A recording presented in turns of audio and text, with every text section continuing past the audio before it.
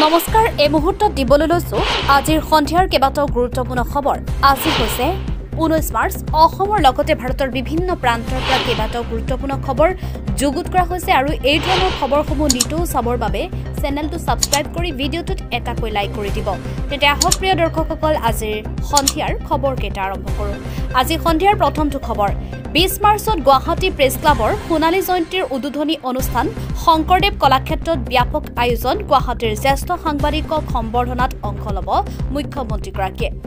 ঐতিহ্যমণ্ডিত গুৱাহাটী প্ৰেছ ক্লাবৰ গৌৰৱোজ্জ্বল সোণালী জয়ন্তীৰ উদ্বোধনী অনুষ্ঠান অহা বিছ মাৰ্চত শংকৰদেৱ কলাক্ষেত্ৰৰ শ্ৰীমন্ত শংকৰদেৱ আন্তৰ্জাতিক প্ৰেক্ষাগৃহত অনুষ্ঠিত হ'ব।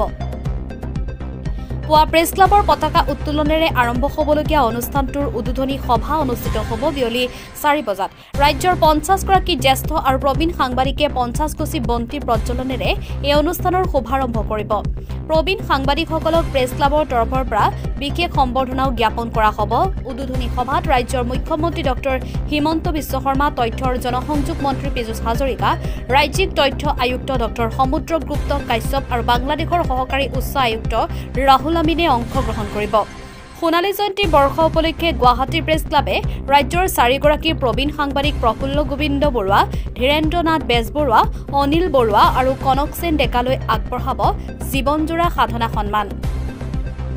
একেটা অনুষ্ঠানতে সোণালী জয়ন্তী বৰ্ষৰ স্মৃতিগ্ৰন্থ স্বৰ্ণিল উন্মোচন কৰা হ'ব। ৰাজ্য চৰকাৰে গুৱাহাটী প্ৰেছ ক্লাবৰ বাবে আবণ্টন দিয়া ভূমিত প্ৰেছ ক্লাবৰ স্থায়ী গৃহৰ শিলান্যাসো সম্পন্ন কৰা হ'ব। লগতে মুকলি কৰা হ'ব সাংবাদিকৰ সন্তানৰ বাবে গ্ৰহণ কৰা বিশেষ আঁচনি গিফ্ট এ চাইল্ড এডুকেশ্যন। সন্ধিয়া ছয় বাজি ত্ৰিছ মিনিটত বিশিষ্ট অভিনেত্ৰী মলয়া গোস্বামীয়ে সাংস্কৃতিক অনুষ্ঠানৰ শুভাৰম্ভ কৰিব। সাংস্কৃতিক অনুষ্ঠানত জুবিন গাৰ্গ খগেন গগৈ বিদ্যাসাগৰ প্ৰিয়ংকা ভৰালী দীপলিনা ডেকা ৰূপম ভূঞা পদ্মনাভ শংকুৰাজ নাহিদ আফৰিনে গীত পৰিৱেশন কৰাৰ লগতে গুৱাহাটীত কৰ্মৰত সাংবাদিকসকলেও সাংস্কৃতিক অনুষ্ঠান পৰিৱেশন কৰিব। সোণালী জয়ন্তীৰ এই উদ্বোধনী অনুষ্ঠানত সকলো সাংবাদিক আৰু সংবাদকৰ্মীৰ লগতে শুভাকাংক্ষীৰ সহযোগিতা কামনা কৰিছে গুৱাহাটী প্ৰেছ ক্লাবৰ সভাপতি মনোজ কুমাৰ নাথ আৰু সাধাৰণ সম্পাদক সঞ্জয় ৰায়ে। আজি সন্ধিয়াৰ দ্বিতীয়টো খবৰ চৰকাৰ দুৰ্নীতি অনিয়মৰ বিৰুদ্ধে সততে মাত মাতি অহা অসম জাতীয় পৰিষদ দলৰ মুখপাত্ৰ জিয়াউৰ ৰহমানলৈ প্ৰেৰণ কৰা হৈছে গ্ৰেপ্তাৰী জাননী। কামৰূপ মহানগৰ জিলাৰ পাৰিবাৰিক আদালতত চলি থকা এটা গোচৰৰ বিচাৰত অভিযুক্ত ৰহমানে আদালতৰ ৰায়ক অৱমাননা কৰাৰ দোষত এই জাননী প্ৰেৰণ কৰা হৈছে। উত্থাপিত অভিযোগ অনুসৰি জিয়াউৰ ৰহমানে নিজৰ দুটি সন্তান আৰু পত্নীক বিগত চাৰি বছৰ ধৰি কোনো ধৰণৰ ভৰণ পোষণ নিদিয়াকৈ তেওঁ পৰিয়ালৰ পৰা আঁতৰি আছিল।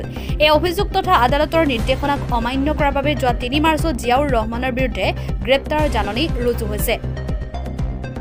এই জাননীৰ পিছৰে পৰা আৰক্ষীৰ পৰা নিৰাপদ অৱস্থান গ্ৰহণ কৰি আছিল অজাপৰ নেতাগৰাকীয়ে। ইফালে আদালতৰ নিৰ্দেশ অনুযায়ী হাতীগাঁও আৰক্ষীৰ এটা দলে হোজাইৰ নীলবাগান আৰক্ষীৰ সহযোগত ৰহমানৰ কৰিবাইলৰ পিতৃ বাসগৃহৰ পৰা তেওঁৰ A zero' one B Z six three nine three number Maruti Vitara Brezza গাড়ীখন জব্দ কৰি গুৱাহাটীলৈ লৈ আহে। উল্লেখ্য যে জিয়াউৰ ৰহমানৰ পত্নীৰ গোচৰ ভিত্তিতে আদালতৰ নিৰ্দেশ অনুযায়ী তেওঁৰ পত্নী আৰু দুই সন্তানৰ পোহপালৰ বাবে মাহেকত আঠ হাজাৰ টকাকৈ দিব লগা আছিল। কিন্তু আদালতৰ নিৰ্দেশ অমান্য কৰি তেওঁ বিগত চাৰি বছৰ ধৰি পৰিয়ালক এটকাও আদায় দিয়া নাছিল।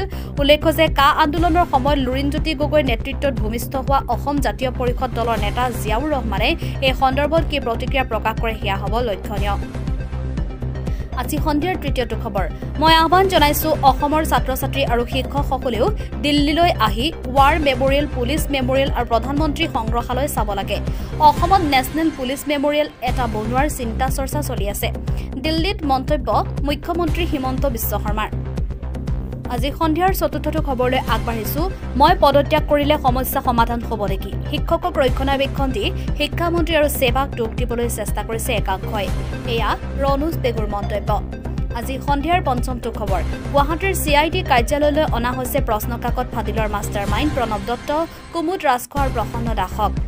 আজি সন্ধিয়াৰ ষষ্ঠ খবৰটো কাশ্মীৰত ভাৰত জোৰো যাত্ৰাৰ সময়ত কংগ্ৰেছ নেতা ৰাহুল গান্ধীয়ে এতিয়াও মহিলাৰ যৌন নিৰ্যাতন চলি আছে বুলি কৰা মন্তব্যক লৈ দেওবাৰে কংগ্ৰেছ নেতা ৰাহুল গান্ধীৰ বাসগৃহত উপস্থিত হয় দিল্লী আৰক্ষী। আৰক্ষীৰ বিশেষ আয়ুক্ত আইন শৃংখলা সাগৰ প্ৰীতি সুদাৰ নেতৃত্বত ৰাহুল গান্ধীৰ বাৰ নম্বৰ টুগলক লেনৰ বাসগৃহত উপস্থিত হয় আৰক্ষীৰ দলটো।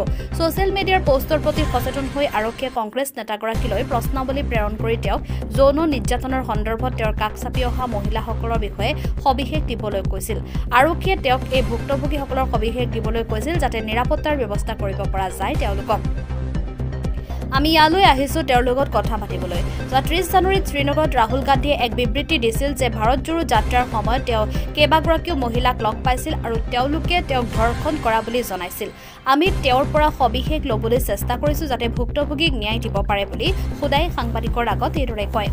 আৰক্ষীৰ মতে ভাৰত জোৰো যাত্ৰাৰ সময়ত তেওঁৰ অভিজ্ঞতা আৰু মহিলাসকলে সন্মুখীন হোৱা সমস্যাৰ কথা উল্লেখ কৰি ৰাহুল গান্ধীয়ে তেওঁৰ ওচৰলৈ এগৰাকী যুৱতীয়ে আহি তেওঁৰ সন্মুখীন হোৱা নিৰ্যাতনৰ কথা কোৱাৰ কথা কৈছিল।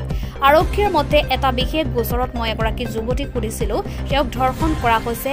মই তেওঁক সুধিছিলোঁ যে আমি আৰক্ষীক ফোন কৰিব লাগেনে? তেওঁ কৈছিল যে আৰক্ষীক ফোন নকৰিব তেতিয়া মই লাজ পাম বুলি ৰাহুল গান্ধীয়ে কয়।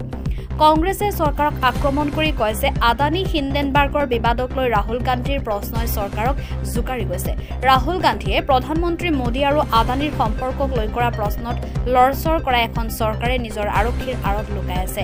ভাৰত জোৰো যাত্ৰা সম্পূৰ্ণ হোৱাৰ পঞ্চল্লিছ দিনৰ পাছত দিল্লী আৰক্ষীয়ে জাননীৰ জৰিয়তে তেওঁক লগ কৰা আৰু হাৰাশাস্তি আৰু হিংসাৰ কথা কোৱা মহিলাসকলৰ সবিশেষ বিচাৰিছে বুলি কংগ্ৰেছে টুইট কৰে। আজি সন্ধিয়াৰ সপ্তমটো খবৰ মহানগৰীত ক্ৰমাৎ বৃদ্ধি হৈছে চুৰি ডকাইতিৰ ঘটনা। নিশা ঢপলীয়া শংকৰদেৱ পথত চোৰে চলালে চফৰ মাত্ৰ বিছ মিনিটৰ ভিতৰতে গৃহ নম্বৰ একচল্লিছ আৰু গৃহ নম্বৰ দহত চোৰে চলালে চফৰ চোৰে লৈ গ'ল দুখনকৈ পালচাৰ বাহন আৰু এখন স্কুটি। মুঠ তিনিখন বাহন লৈ যায় চোৰে। উল্লেখযোগ্য যে ভুক্তভোগী সীতাৰাম চাহানী আৰু বিনোদ সিঙে ফটাশিল আৰক্ষী থানাত ৰুজু কৰিছে। গোচৰ চুৰি হোৱাৰ পূৰ্বে কিদৰে দেৱালৰ ওপৰেৰে প্ৰৱেশ কৰি বাহন চুৰি কৰি লৈ গৈছিল সমগ্ৰ দৃশ্য বন্দী হৈ ৰল চি চি কেমেৰাত। বিগত সাত বছৰে ফটাশিল আৰক্ষীয়ে এদিনো পেট্ৰলিং নিদিয়াৰ অভিযোগ স্থানীয় ৰাইজৰ। আজি সন্ধিয়াৰ অষ্টম খবৰটো। উত্তৰ পূৰ্বাঞ্চলৰ লোকসকলে সততে বহিৰাজ্যত বৰ্ণবৈষম্যৰ চিকাৰ হৈ অহাৰ কাহিনী হয়তো সকলোৰে জ্ঞাত। বৰ্তমানৰ সজাগতাৰ পাছত এই সংখ্যা হ্ৰাস পালেও একেবাৰে বন্ধ হৈ পৰা নাই। তাৰ সৈতে ভাৰতৰ অন্য প্ৰান্তৰ লোকসকলৰ বাবে উত্তৰ পূৰ্বাঞ্চলৰ ভৌগোলিক জ্ঞান এতিয়াও হাস্যকৰ বহু পৰ্যায়ত। অৱশ্যে জাতীয়তাবাদী দলৰ পৰিৱৰ্তে কেন্দ্ৰীয় দলসমূহৰ সক্ৰিয় ভূমিকাত এতিয়াও সেয়াও হ্ৰাস পাইছে। কিন্তু উত্তৰ পূৰ্বাঞ্চলৰ পৰ্যটন উদ্যোগে ঠন ধৰি উঠিব পৰা নাই তাৰ পাছতো। উত্তৰ পূৰ্বাঞ্চলৰ পৰ্যটন উদ্যোগটোকো নকৈ জীপাল কৰি তোলাৰ বাবে কেন্দ্ৰীয় চৰকাৰে আৰম্ভ কৰিছে এই বিশেষ ৰেল সেৱা। ভাৰতীয় ৰেল সেৱাই ভাৰত গৌৰৱ নামেৰে এক ৰেলৰ জৰিয়তে পোন্ধৰ দিনীয়া এক যাত্ৰাত ভ্ৰমণ কৰাব অসম ত্ৰিপুৰা নাগালেণ্ড আৰু মেঘালয়ৰ মুখ্য পৰ্যটনস্থলীসমূহ। উল্লেখ্য যে একৈছ মাৰ্চ দুহেজাৰ তেইছত দিল্লীৰ চফদৰজং ষ্টেচনৰ পৰা আৰম্ভ হৈ অসমৰ গুৱাহাটী ফৰকাটিং শিৱসাগৰ আৰু কাজিৰঙা ত্ৰিপুৰাৰ উনাকটি আগৰতলা আৰু উদয়পুৰ নাগালেণ্ডৰ ডিমাপুৰ আৰু কহিমা ঠিক একেদৰে মেঘালয়ৰ শ্বিলং আৰু চেৰাপুঞ্জী ভ্ৰমণ কৰিব ৰেলখনে। এই সন্দৰ্ভত ভাৰতীয় ৰেল সেৱাৰ এক শীৰ্ষ বিষয়াৰ মন্তব্য অনুসৰি এক ভাৰত শ্ৰেষ্ঠ ভাৰত আৰু দেখো আপনা দেশ আঁচনিৰ অধীনত দেশৰ পৰ্যটন বিভাগক আৰু অধিক শক্তিশালী কৰি তুলিবলৈ এই প্ৰচেষ্টা হাতত লোৱা হৈছে। আগবাঢ়িছো আজি সন্ধিয়াৰ শেষৰটো খবৰলৈ অতি শোকাবহ। যাত্ৰীবাহী বাছ ভয়ংকৰ দুৰ্ঘটনাত পতিত থিতাতে নিহত সোতৰজন আৰু গুৰুতৰভাৱে আহত হৈছে প্ৰায় ত্ৰিশজন যাত্ৰী। ভয়ংকৰ দুৰ্ঘটনা। যাত্ৰীবাহী বাছ দুৰ্ঘটনাত পতিত হৈছে মৃত্যু প্ৰায় সোতৰজন লোক। দেওবাৰে পুৱাই এই ভয়ংকৰ দুৰ্ঘটনা সংঘটিত হৈছে বাংলাদেশৰ ঢাকাৰ মাদাৰীপুৰৰ এক্সপ্ৰেছৱেত। নিয়ন্ত্ৰণ হেৰুৱাই যাত্ৰীবাহী বাছখন পথৰ পৰা আঁতৰি খাৱৈত বাগৰি পৰাত ঘটনাস্থলীতে মৃত্যু হয় সোতৰজন যাত্ৰীৰ ইফালে দুৰ্ঘটনাত আহত হৈছে আন ত্ৰিশজন। উল্লেখ্য যে আহতসকলৰ কেইবাজনৰো অৱস্থা অতি সংকটজনক হোৱাৰ পৰিপ্ৰেক্ষিতত নিহতৰ সংখ্যা বৃদ্ধি পোৱাৰ আশংকা কৰা হৈছে। জানিব পৰা মতে ইমান ইমাত পৰিবহণৰ দ্বাৰা পৰিচালিত বাছখনে যাত্ৰীক কঢ়িয়াই পুৱা সাত বাজি ত্ৰিছ মিনিটত ঢাকা অভিমুখে গৈ থকাৰ সময়তে সংঘটিত হয় এই দুৰ্ঘটনাটো। যান্ত্ৰিক বিজুতিৰ বাবে বাছখন নিয়ন্ত্ৰণহীন হৈ খাৱৈত বাগৰি পৰে বুলি সন্দেহ কৰিছে আৰক্ষীয়ে। প্ৰিয় দৰ্শকসকল এই ভিডিঅ'টোৰ মাধ্যমেৰে আজিৰ সন্ধিয়াৰ কেইবাটাও গুৰুত্বপূৰ্ণ খবৰ দিবলৈ চেষ্টা কৰিলোঁ। যদি খবৰকেইটা শুনি ভাল লাগিছে তেন্তে লাইক কমেণ্ট আৰু শ্বেয়াৰ কৰি উৎসাহিত কৰিব বুলি আশা ৰাখিলোঁ। ধন্যবাদ।